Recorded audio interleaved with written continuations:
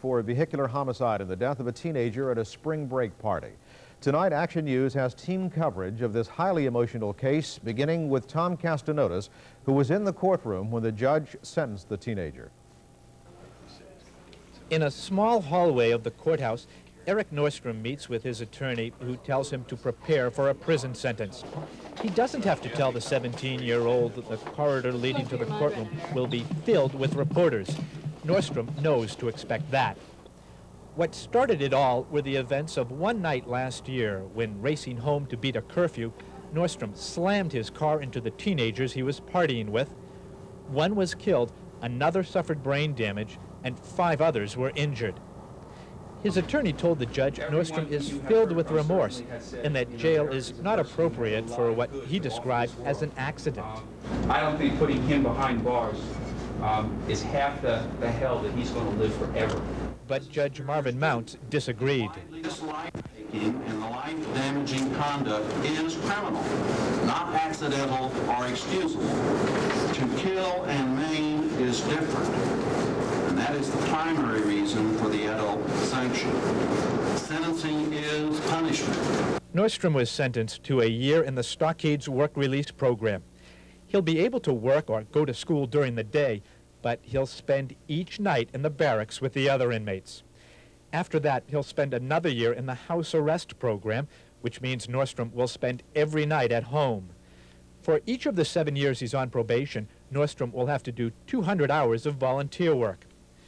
Nordstrom said he was sorry. I know that I'm sorry it doesn't help. I just want to say it to everybody, especially Amber. I'm sorry. Amber is Amber Hunter, the teenager who was killed. Her mother said she was satisfied with the sentence and is relieved that the case is over. You know, it's a daily thing on how I can cope on the loss of my daughter. I still go through the grieving. And uh, one day's great, one day, four days is real bad. So, but I stop with coming here so I can focus on other things, hopefully. Nordstrom will not have to begin serving his sentence until the appeals court rules that he had a fair trial. That ruling may not come for years. In West Palm Beach, I'm Tom Castanotis, Action 5 News. In addition, Judge Mounts ruled that Nordstrom will lose his driver's license for five years. And Jim, it may take much longer for Eric's high school classmates to get over the events of the past several months. As Action 5's Mark Esterly explains tonight, throughout it all, Eric Nordstrom always had the staunch support of his friends. One thing that helped Eric Nordstrom through his difficult proceedings is the solid support he received from friends and classmates. Many were there when his car sped out of control, killing Amber Hunter. Some agreed to testify in his behalf and those who supported him throughout appeared as relieved by the sentence as Eric's family. I'm happy. I'm very happy. I'm very happy he got probation.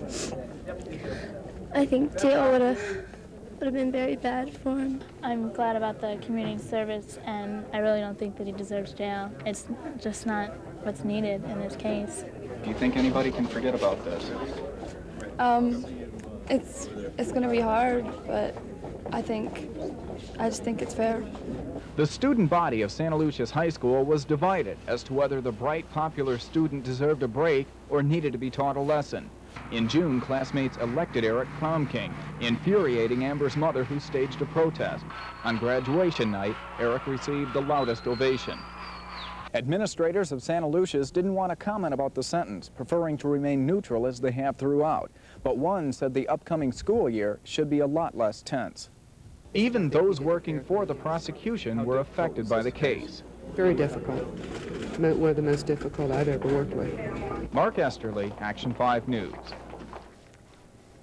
When Eric Nordstrom graduated from Santaluces high school last spring, he did so with the hopes that he could go on to college. Jim. Well, the teenager may be pursuing that dream, even though today Judge Mountain sentenced him to a year in the stockade.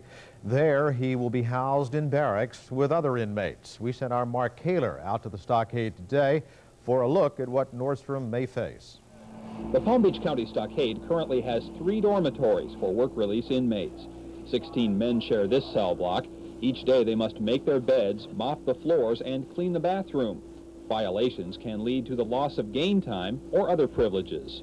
They're just restricted in what they can do. Uh, their leisure activity is sitting here in this, you know, room that you see watching TV, and that, that's it. The recreation area is open twice a day. Inmates who are at work during those times miss out.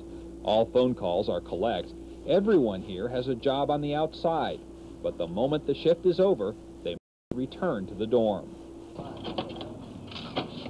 Inmates enter their precise exit and entry times at the gatehouse, but the close observation by corrections officers does not end here. We also, we have officers that are constantly in the field. We check job sites, we check residents um, every other day periodically.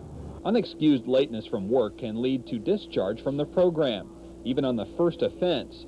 And inmates know the next level of incarceration affords no hope whatsoever of getting past the barbed wire. In West Palm Beach, Mark Kaler, Action 5 News.